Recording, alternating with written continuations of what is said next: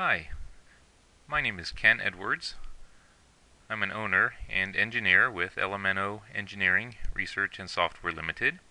This is our website, which is at www.lmnoeng.com.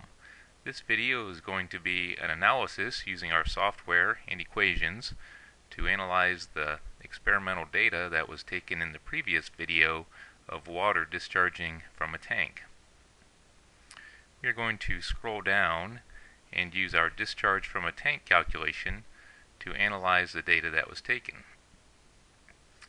In our previous video, we recorded the head level in a tank, which is the water level from the center line of the orifice to the water surface in the tank.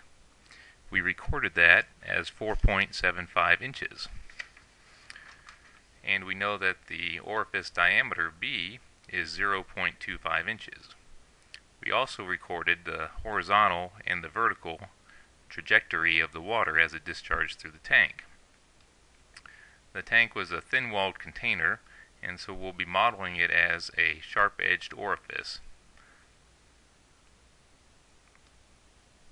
This is the calculation, and I'll come back to this in a few minutes, but first I'd like to discuss the equations that this calculation uses. The equation that we'll be using is Q equals C naught A square root of 2GH, where H is the water level in the tank from the center line of the orifice up to the water surface, which was 4.75 inches. G is the acceleration of gravity, 32.2 feet per second squared. A is the area of the orifice hole based on the diameter of 0.25 inches. And C naught is the product of the velocity coefficient CV and the orifice coefficient C naught. C naught equals CC times CV. For a sharp-edged orifice, CC is 0.62 and CV is 0.98. Note that this equation uses consistent units, so if you were going to plug numbers into this equation, you would want to convert h to feet and a, the area, to feet squared in order to compute q in cubic feet per second. Now let's scroll back up to our calculation. And we are going to compute flow rate q from the head, diameter, and type of hole. So let's click on that selection. And we'll use English units with Q in gallons per minute. And we have a circular hole. And uh, instead of having, having rounded orifice edges, we'll have a sharp-edged orifice. Well, let's go back to our data, look at our data.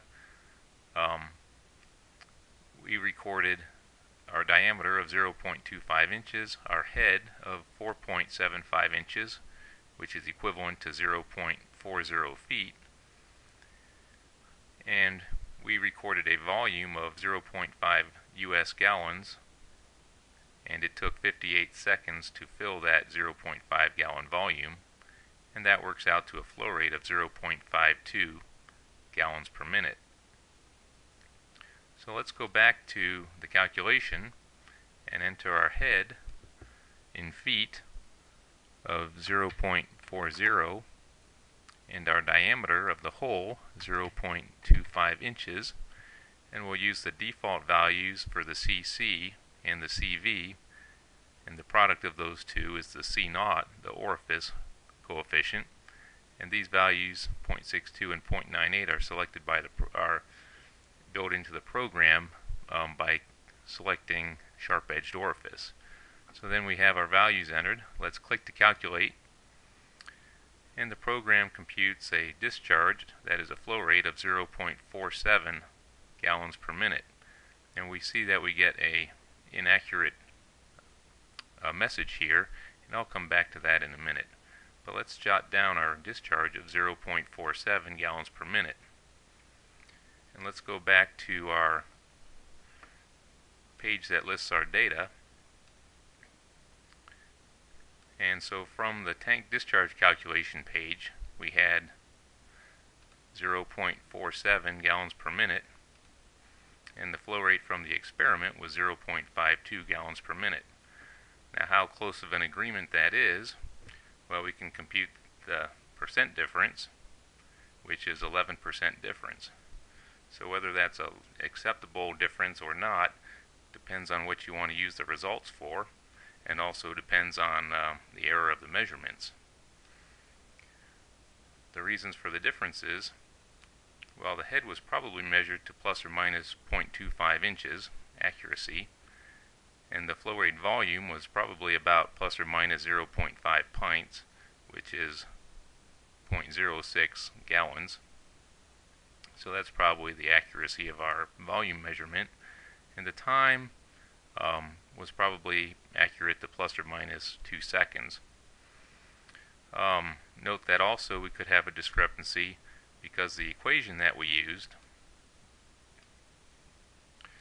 Q equals C naught A square root of 2GH is most accurate if the head H is greater than 4.17 feet and we only had 0.4 feet and also it's best to use it if the diameter is greater than 1 inch and we only had 0.25 inches.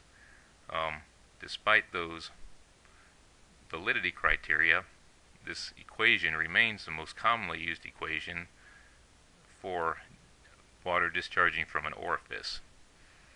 Um, how, although technically, when it's been tested by various investigators, um, it's best to use um, to meet the criteria for the head and the diameter. But even not meeting those criteria, we are still able to, the computation is still able to agree within 11% of our measured value.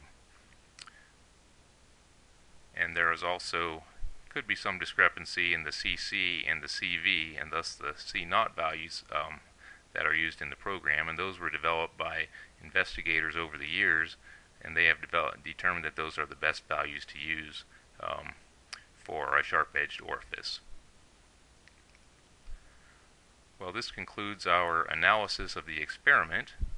If you have any questions, feel free to contact me at lmno at lmnoeng.com or in the USA, the phone is area 740 592 1890. This concludes this video. Thank you for watching.